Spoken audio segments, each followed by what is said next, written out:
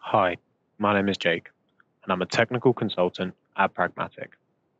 In this video today, I'm going to show you how you can create satisfaction metrics in your customer voice surveys, as well as gain oversight on the reports that they provide.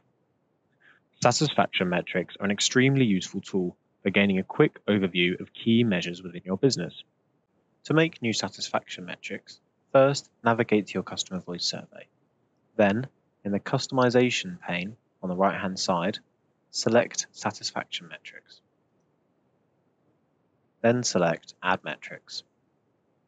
Within Dynamics, there are four different satisfaction metrics that you can create. First, Net Promoter Score. Net Promoter Score is commonly used for measuring customer loyalty and can only be applied to Net Promoter Score questions, such as the one we have here in question 4. To create a Net Promoter Score satisfaction metric, select Net Promoter Score, then give it a name.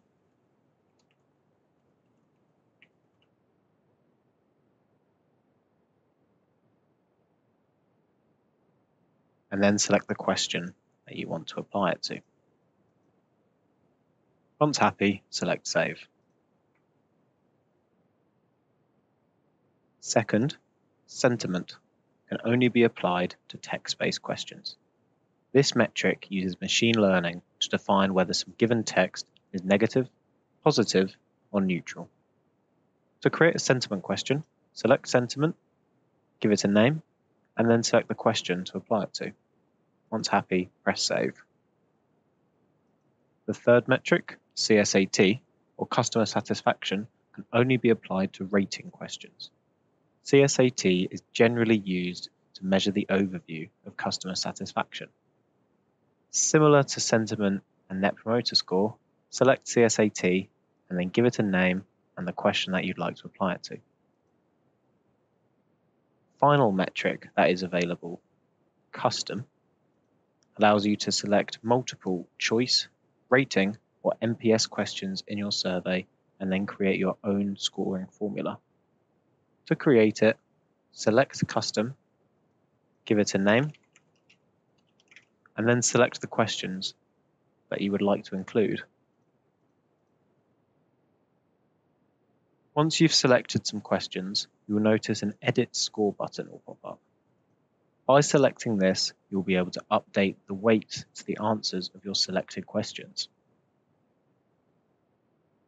Once you're happy with your weightings, select back and save to create your custom score. Now, to see the reports of these satisfaction metrics, select Satisfaction Metrics in the pane on the left-hand side of the page. This will open up a report on each of your previously defined satisfaction metrics, as can be seen here. You can also access this data directly in Dynamics itself. To see satisfaction metric data within Dynamics, First, navigate to a customer voice survey response, response record in your Dynamics environment. Then, in the response details section, select Satisfaction Metrics tab. This will display the satisfaction metrics for this given response. Thanks for watching. I hope you found it useful.